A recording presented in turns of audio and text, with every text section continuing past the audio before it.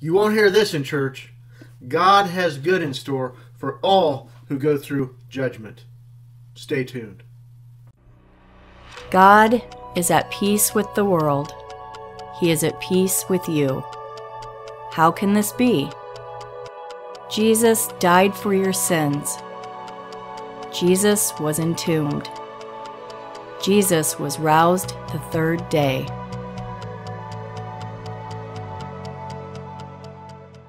Stay tuned to the end of this video for an upcoming conference announcement and for links of other videos related to this video. Christianity teaches that Jesus is really good at judging, which in the end, for the judge person, ends up with them in hell forever and ever. On the flip side, when Christianity teaches about Jesus saving, they say that he's not quite as good as he could be, because billions of people will end up either tormented forever and ever, or dead forever and ever. They're wrong about both Jesus judging and his saving. In the hands of the Savior of the world, judging is a means to an end, not the end, which is the salvation of all, and God becoming all in all. True judgment, God's judgment, has a purpose for the judge and the judgee that go far beyond the actual judgment. God said to rebellious Israel in Amos 6:12, "You turn right judgment into poison." And Christianity does the same thing. They pervert God's right judgment into something poisonous. Do not swallow it. I love this following quote from A.E. Knoch regarding judgment. Judgment is God's strange work. He uses it on the way Men make it the end. No matter how an unbeliever is dealt with, whether he dies as a result of sin or by the direct intervention of God, whether he be cast into outer darkness or into Gehenna, this is not his end. All who do not belong to Christ will be roused from the dead and judged before the great white throne. God does not reach his goal in any of his disciplinary measures. These only prepare his creatures for it. Let us not confuse the going with the goal. Before we dig into our study on the judging, let's set the foundation for God's work and God's will concerning the salvation of all. 1 Timothy 2 4 through 6. Our Savior God wills that all mankind be saved and come into a realization of the truth. For there is one God and one mediator of God and mankind, a man, Christ Jesus, who is giving himself a correspondent ransom for all, the testimony in its own eras. Let's take a look at a key passage concerning the judging that will be done by Christ in John 5 22 through 23, Jesus is speaking to Jews who were persecuting him and seeking to kill him because he had healed a man on the Sabbath, and they said he was making himself equal with God. For neither is the Father judging anyone, but has given all judging to the Son, that all may be honoring the Son according as they are honoring the Father. He who is not honoring the Son is not honoring the Father who sends him we see the current state of affairs in relation to man, Jesus, and the Father. Jesus said, He who is not honoring the Son is not honoring the Father who sends him. Again, he's speaking to people who accuse Jesus of making himself equal with God the Father. And Jesus is telling them, if you're not honoring me, you're not honoring the Father. So the honor that was due to Jesus was not coming to him, so they were also not honoring God. You cannot bypass Jesus. You cannot skirt around him to get to the Father. He is the only way to the Father. If you do not honor the Son, you're not honoring God the Father.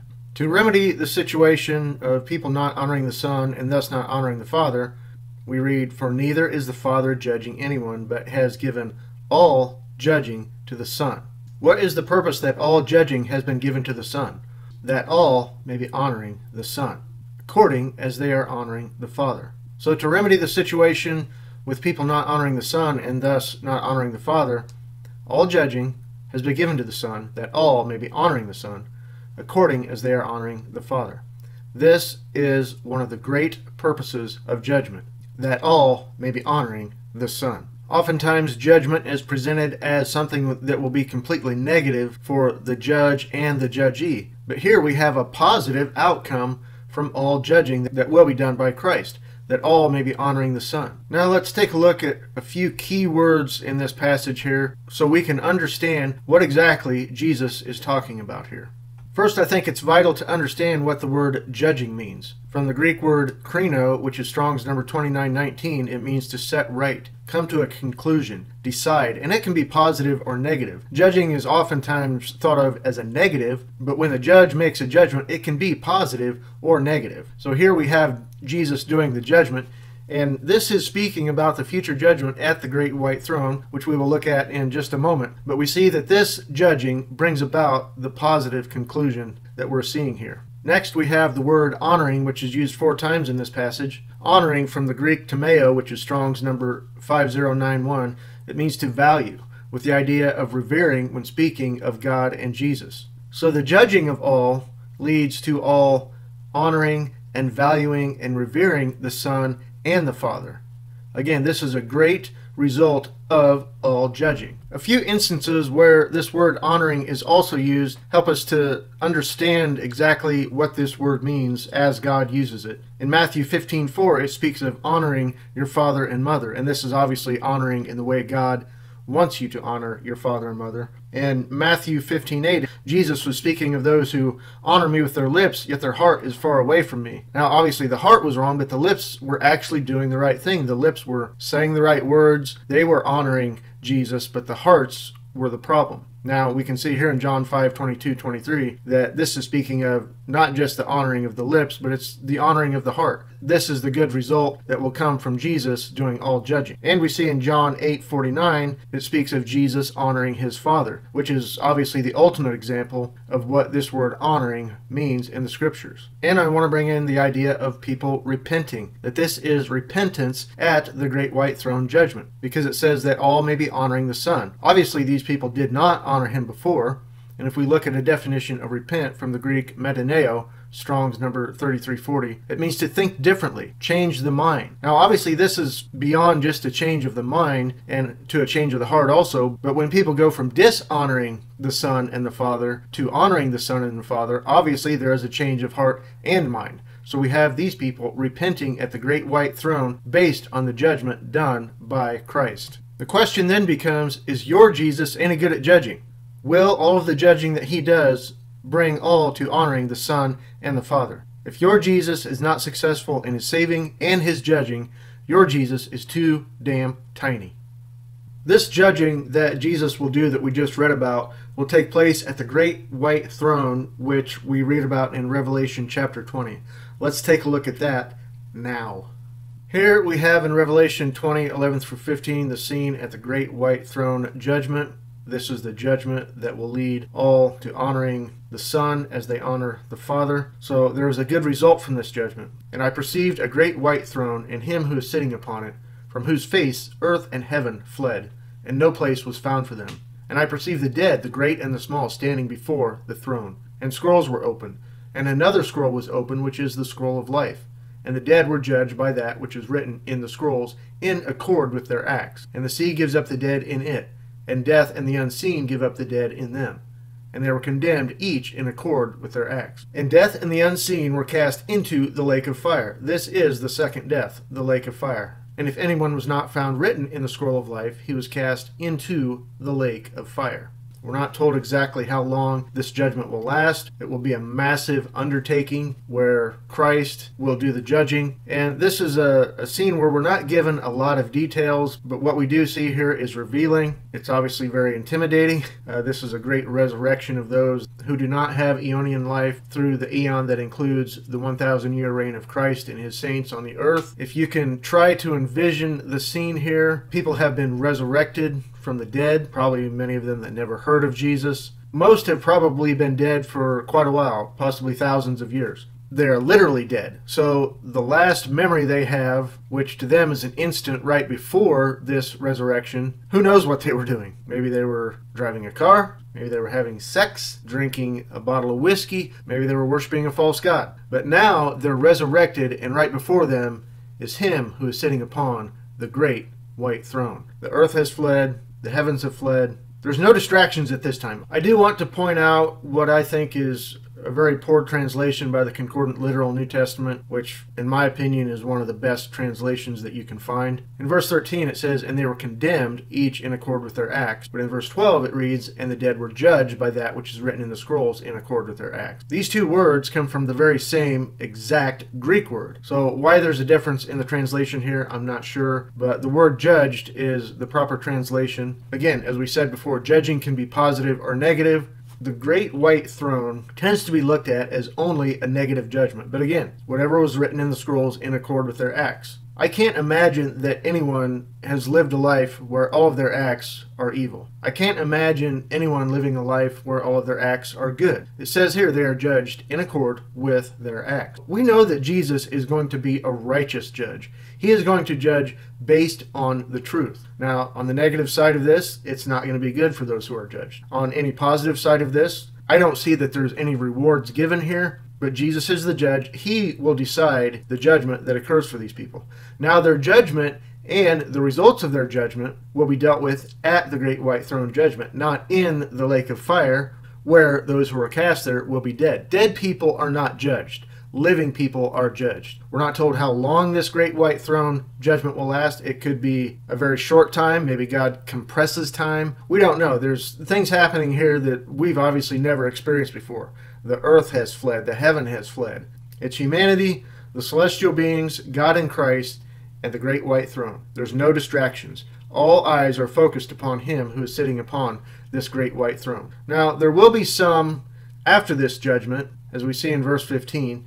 If anyone was not found written in the scroll of life, he was cast into the lake of fire, which verse 14 tells us is the second death. There they will die. But there are some who will be found in the scroll of life, and they will go on to the new earth as mortals. But again, as we saw in John chapter 5, all of this judging will be done so that all will be honoring the Son, even as they are honoring the Father. That is what you will not hear in church. This is just looked at like everybody's judged before they're cast into hell, they're tormented forever, they're dead forever. That is not the case. That is what Christianity teaches, but we have to understand there's a purpose for the judgment that goes beyond the judgment. This is not the end of anyone at this judgment. Even for those cast into the lake of fire, they will later be resurrected to immortality because death, the last enemy, will be rendered inoperative. Now let's take a look at an example of some of the worst among us, the wicked people of Sodom, and how they will fit into this judging.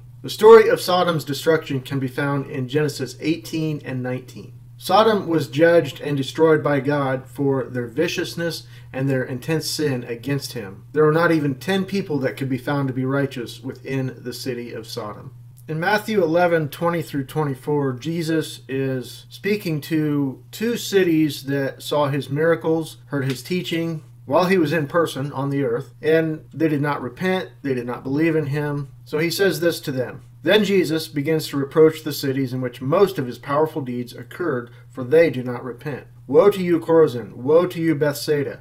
For if the powerful deeds which are occurring in you occurred in Tyre and Sidon, long ago they would repent, sitting in sackcloth and ashes. Moreover, I am saying to you, for Tyre and Sidon shall it be more tolerable in the day of judging than for you. And you, Capernaum, not to heaven shall you be exalted, to the unseen shall you subside. For if the powerful deeds which are occurring in you had occurred in Sodom, it might remain unto today. Moreover, I am saying to you that for the land of Sodom shall it be more tolerable in the day of judging than for you. So we have Sodom and we have Tyre and Sidon that Jesus is speaking about here, uh, very wicked places. Sodom is obviously known for its wickedness. But notice what Jesus said about these ancient cities that were destroyed. In verse 21, if the powerful deeds which are occurring in you, the current city that Jesus was ministering to, occurred in Tyre and Sidon, long ago they would repent, sitting in sackcloth and ashes. In verse 23, if the powerful deeds which are occurring in you had occurred in Sodom, it might remain unto today. Jesus is telling you that, that God knows exactly what it takes to cause repentance in a person, in a group of people, and in humanity as a whole. It's not a mystery for God to cause repentance inside of anyone, to cause a change of heart, to cause a change of mind. Repentance does not come within from within us. It comes from without. God is the one that has to change the mind and the heart.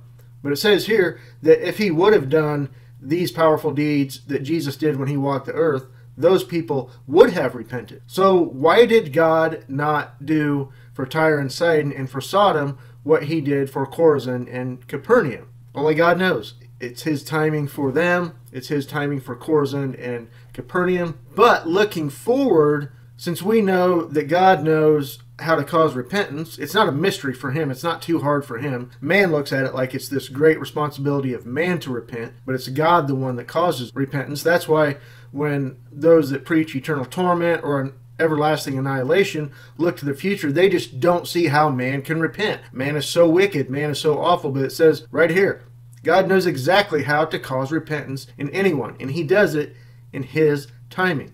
And that's why, based on John 5 that we looked at, that it's through the judging that he will lead many to repentance by causing them to be honoring the Son and the Father.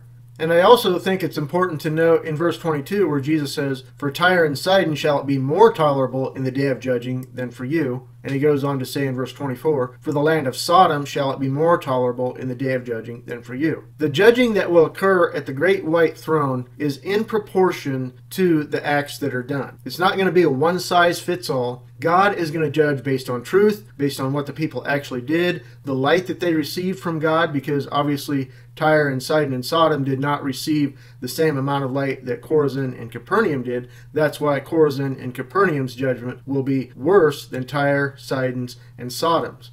As it says here, their judgments will be more tolerable in that day of judging. God is in control of all of this stuff the judging, the results of the judging, bringing light and knowledge and understanding in His timing to all those that will get light and knowledge and understanding. And the result will be them honoring the Son as they honor the Father. God is not done with Sodom. He destroyed them, wiped them out with fire from heaven. But that's not the end of Sodom. They will be resurrected to a judging that has a purpose beyond the judging. God has final restoration in store for Sodom. We see this in a great prophecy from the book of Ezekiel. Ezekiel 16, 53 through 55 from the concordant version of the Old Testament. This is God speaking. Yet I will reverse their captivity, the captivity of Sodom and her daughters, and the captivity of Samaria and her daughters, and I will reverse your, Jerusalem's, captivity in their midst, that you may bear your mortification and be mortified by all that you have done, in which you brought comfort to them. Then your sisters, Sodom and her daughters, they shall return to their former state, and Samaria and her daughters, they shall return to their former state. And you and your daughters, you shall return to your former state. This is God speaking to wicked Sodom, wicked Samaria, and wicked Jerusalem, and the cities that surrounded them, which he mentions here as their daughters. God is going to do a great reverse. He will judge, he will punish, but again, the judgment and the punishment are not the end. They're the means to the end. Here is the great reversal for Sodom, Jerusalem, and Samaria. God will reverse their captivity, and He's going to return them to their former state, the state of life. I think it's appropriate now that we thank God that He has a very big brain, a God sized brain. He's got this all figured out. But a question comes to mind when you talk about the great white throne and all people being saved. People say, Will Sodom come to believe, and will those raised at the great white throne come to believe at the great white throne? I think the answer is yes, and I'll tell you why right now. If the judging that Jesus does is so that all will be honoring him and honoring the Father, would it be honoring to them to not believe in them? No. So I believe that their belief and their honoring work together. It all comes together at the great white throne. The judging has a purpose, and the judging of Jesus will fulfill that purpose. But this raises a problem for many, and pretty much everybody in Christianity, because we're taught that people can only be saved in this life. And we're taught that people can only be saved and believe by faith. Now, faith being something that you don't see. That's why faith is required because you don't see it. But, but, I like big butts. Jesus put his stamp of approval on believing by sight in his encounter with Thomas. Let's look at that because this is so vital to understanding the salvation of all. That some come to believe by faith in this life and will have Aeonian life, but those that do not will come to belief by sight. And let us not forget that it was through sight that doubting Thomas became, in actuality, believing Thomas. Believe it or not. In John 20, 24 through 29, we have the encounter between doubting Thomas and Jesus after Jesus' resurrection. Now, Thomas, one of the twelve, termed Didymus, was not with them when Jesus came. The other disciples then said to him, We have seen the Lord. Yet he said to them, Should I not perceive in his hands the print of the nails, and thrust my finger into the print of the nails, and thrust my hand into his side, I will by no means be believing. And after eight days his disciples were again within, and Thomas was with them. The doors having been locked, Jesus is coming and stood in the midst and said, Peace to you. Thereafter he is saying to Thomas, Bring your finger here and perceive my hands, and bring your hand and thrust it into my side. And do not become unbelieving, but believing. And Thomas answered and said to him, My Lord and my God. Now Jesus is saying to him, Seeing that you have seen me, you have believed. Happy are those who are not perceiving and believe. This passage puts the full stamp of approval by Jesus himself on believing by sight. Now he says, Happy are those who are not perceiving and believing, and those are those who will have Aeonian life, who do come to believe by faith without seeing. So the next time someone says to you, you have to have faith to believe, say, Yes, that's true now. But that's not always true. Let's again be thankful to our great God with a great big God brain that all judging has a good purpose. And realize again and remember always that the judge of all is also the Savior of all.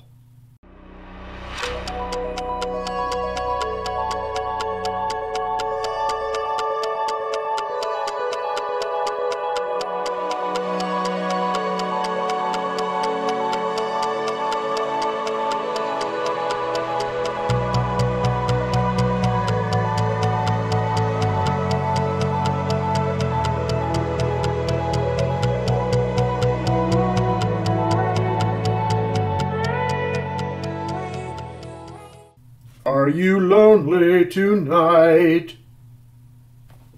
Are you lonely and wanting some face to face fellowship with other believers? Or maybe you're curious about the salvation of all through the Savior of the world, Jesus Christ. There are at least two upcoming conferences this year.